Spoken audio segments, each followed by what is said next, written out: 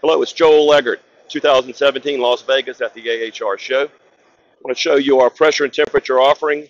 Here is what we call our KP controls or KPUs. These are pressure and temperature uh, commercial stats and pressure switches. Here is our, our KPU 19, which is a universal mechanical thermostat that is very popular in the market using commercial refrigeration, walk-in coolers, or other commercial refrigeration uh, equipment.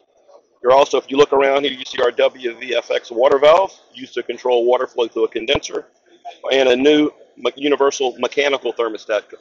This, this is a, a drop-in replacement to many of the mechanicals that are on the market, as well as our new ERC213 electronic controller that we're kitting for wholesalers here in North America. It comes with three relays.